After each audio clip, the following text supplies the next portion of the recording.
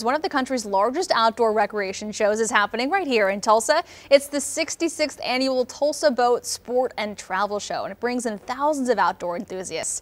2 News Oklahoma reporter Caitlin Rivas joining us live this morning from the SageNet Center with a look at what we can expect this year. Hey, Caitlin.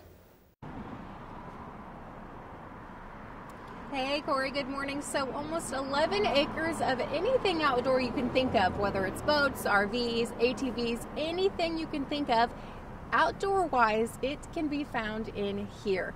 Now, a family event for all budgets and all activities, the Tulsa Boat and Sport and Travel Show has called Tulsa home for more than 50 years, actually 66 years to be exact. Each year, nearly all the merchandise is sold, and whether you're a beginner or a seasoned pro, the show has plenty of toys to explore boats, RVs, ATVs, personal watercrafts, boat decks, boat lifts, uh, tourism, travel, fishing, hunting, anything. If you like to be outside at all, we've got something in here for you or the whole family.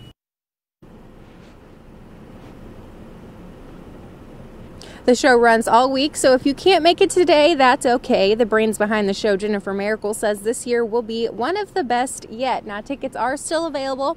It is $10 an adult, and then 12 kids under 12 get in free. They also have tons of discounts for uh, first responders, veterans, things like that. So the fun starts today at 5, although it won't start tomorrow at 5. There are different times for every day, so head over to our website at kjrh.com to see those times and all the fun.